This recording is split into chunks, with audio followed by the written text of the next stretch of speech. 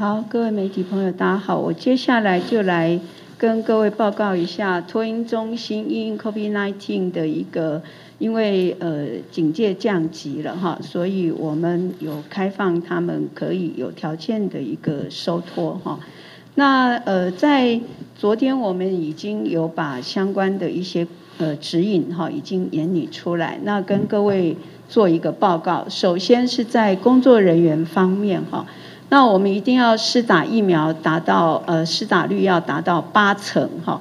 那如果说他在第一季接种还没有满十四天，或者是还没有去接种这个疫苗的，那在首次服务提供前要去做那个那个三日内有效的这个抗原快筛哈。那这个部分是要再提醒我们托婴中心。那托婴中心本身呢，如果他有照我们那个查检表，呃，做完相关的一些呃查检哈检查以后，那报给地方政府来备查哈，那就可以开始来提供服务。那当然地方政府也会去呃做一个抽查哈。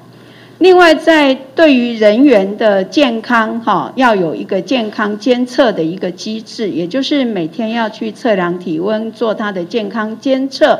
那如果他体温有异常，就要有异常的一个通报，哈。那如果他是被居家隔离、居家检疫或有自主健康管理的，那这些人工作人员是不可以上班，那孩子也不可以送托，哈。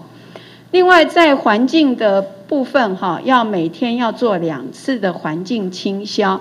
那当然，那个使用这个厕所或卫浴，哈，这个部分那个清消的频率就要看情况，哈，要更强化，频率要更高。另外，因为孩子会在工工作人员都会在托婴中心里面用餐，哈，所以我们就强调，呃，用餐的环境一定要有通风。而且要采，如果坐下来哈，要采梅花座，或者是使用隔板。那另外餐食，因为孩子的餐食大概都是一个一个的哈套餐哈，那或者是说工作人员也要用分菜以后才可以来提供哈。另外对于那个餐具的部分，我们是期待大家都要自己哦用他自己的餐具哈，水平也是一样，不可以混用。那用餐前后哈都要进行环境的一个清消。另外，在服务动线跟呃这个部分哈，我们一定要做区分区。那呃，应该在照顾上面要分仓分流的一个呃照顾的一个机制哈。那我们是用分组，就是一个服务人员带四个小朋友。那以五个人为一组，哈，在分区、分层或分室这样的一个方式来做规划。另外呢，在二级以上的这个时间，哈，我们原则上进就暂停这个室外的一个活动。那对于访客，哈，或是家长接送的，都要采十连制，而且要照册，哈。那我们尽量管制这些呃家长跟接送者还有访客，哈。那对于课程的活动，我们都希望是尽呃尽量都要采分组进行，也就是刚才我们说的五个人一组这样的一个模式来进行哈。另外在应变的机制上面哈，基本上我们还是一样。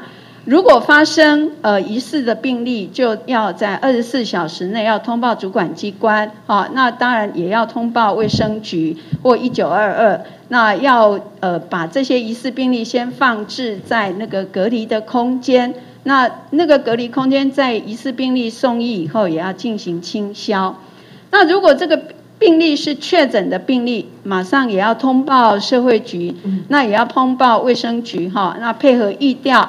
来造册、框列跟裁剪这些的事项，都要托婴中心都要配合。另外，如果有一名的人员确诊的时候，哈，那机构也要呃停托三天来进行环境的清消，哈。另外，对于这个托婴中心，每天都要做一些呃呃收托人数哈的一个那个传送，哈。那另外也要落实呃通报跟查检的相关的一个规定作业。那同步，如果民众发现呃有一些呃违规的事项，也可以跟主管机关来做一个呃通报哈，来呃查请那个地方政府去查查哈。另外，对于保姆的部分哈，因为他毕竟是在居家的环境，收托的孩子比较少。那不过，因为在之前我们也是有限制哈，还是我们呃停止他的一个收托，所以在这个部分我们也做了一些的提醒哈。那对于这个保姆呃跟同住，因为他在家呃居家的环境里面哈，所以同住的成员我。我们也希望他能够每日来测量体温，那对婴幼儿送送托进来也要来量测体温跟进行相关的健康监测。另外，如果呃是有居家隔离、居家检疫跟自我健康健康管理的哈，也是不可以呃提供服务跟收托的哈。另外，我们在那个环境的部分也要求这个居家环境每日都要做呃清消。哈，那用餐的环境也要有通风，那也要使用这个相关的这个餐具哈，都是呃个人哈专属哈，避免共食哈。那用餐完也要再做环境的一个清消哈。另外，如果呃有疑似的病例哈，也要在二十四小时要通报我们社会局处，或者是联系卫生局跟一九二二这边来呃依照这个相关的防疫的规定来处理哈。那如果有确诊病例，那当然就是要呃暂时停托哈。那相关在这个确没有做完相关的一些环境清消跟。呃，跟相关的呃社会局或卫生局在确认他可以回复收托以前，哈，那是暂时停托。那以上做简要的一个报告。